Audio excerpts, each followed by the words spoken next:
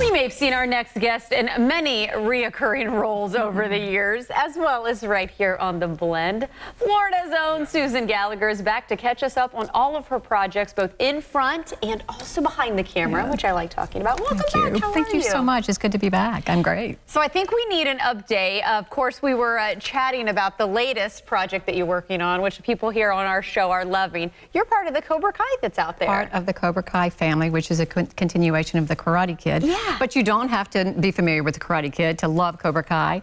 And I play the part of Lynn, a homeless woman, and she lives um, right outside of the, the Cobra Kai dojo.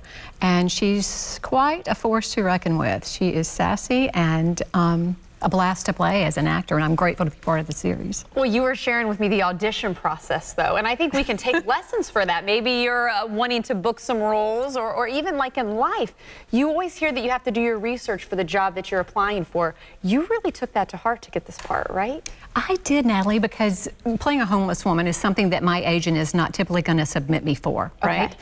And I actually saw this uh, on a self self submission site called Actors Access, and uh, shooting in Atlanta. It's a homeless woman, and and, and it said something about um, be outside of the box. And I thought, you know what, I, I'm, I'm going to audition for this role. So I put myself on tape and I wore like my husband's old sweatpants and this big sweatshirt. And I just messed up my hair and I put all this dark makeup underneath my eyes. I whited out my lips and really, really tried to get into this character. And then I got a call back and I thought, oh crap what am I going to do now? you know, do this. yeah, I can't be friendly and smiling or whatever in this uh, audition and callback process. So I went in character, and I stayed in character the entire time, and I got the role. And again, it's a and, role in a show that people are loving as yeah, well. Yeah, and it's such a blast, blast to play. It's so different than anything I've done. And it's funny because the big three, who are the creators of Cobra Kai, mm -hmm. they had never seen me when I was not in character, full-blown character. I mean, I'm filthy from head to toe. They, the hair and makeup department do a wonderful job. They, they put dirt makeup from head to toe, my nails, my hands, my feet, everything, and then the costume just makes it. Which is fun then to dress up and show everybody like, hey guys, I can dress up too, yeah, right? actually, actually I was with Queering, the other show that I'm yes. I'm recurring. Actually, I'm a series regular in that show.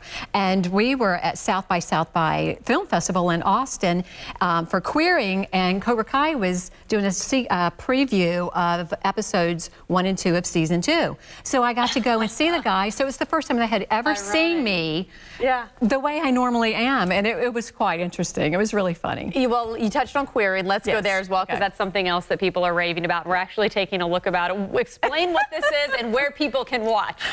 It is free on YouTube. You just type in queering, and we've done two seasons. It is funny. It is um, heartbreaking. It is real. It's very authentic. And Letitia Deporte, Deporte is just a genius writer, and she's done a wonderful job bringing this um, you know, to, to, YouTube, and it's Queering on Queering web series on YouTube. You know, I'm curious. We of course are talking about your acting now, but then you also get behind the camera and do good work as well. Why is it so important for you to balance both, having the on camera to feed the actor need, the actor bug that you have, right. and then also give back in a way as like a production company like you have? Well, I love the acting process, and that's that's kind of my first passion. After my kids were grown and gone, you know, and I had been doing it for years, just kind of part time while they were growing up, and then when they were gone.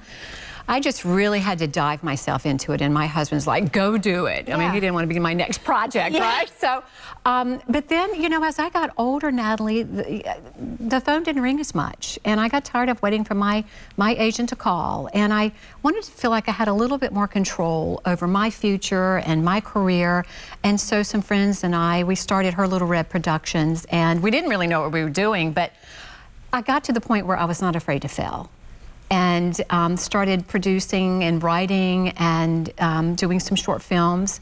Uh, had a documentary that we had mm -hmm. here a mm-hmm. couple of years ago. And it's just been a wonderful experience and it's given me an opportunity. It's an all-female production company. We have a token guy every now and again. I mean, we love our guys. I but, like that, yeah, yeah, yeah, guy. Yeah, yeah, but um, it's all female run and we try to focus on female-driven projects that empower women. And I just think that's important for me, as especially as I, I get older. I, I love to to try to empower younger women, and whether it's in acting or filmmaking or just life in general, we got to stick together. The girl, the girl power. I like this. you know, I'm coming away so much with this interview. Empowered, talking about a job interview, women power, and Yeah. of course aging. You've Yeah. tackled it all, but Yeah. you got to come back because you always have new things on Thank the you horizon. so much for Sounds having good? me. It's good to see you. Nice to see you as well.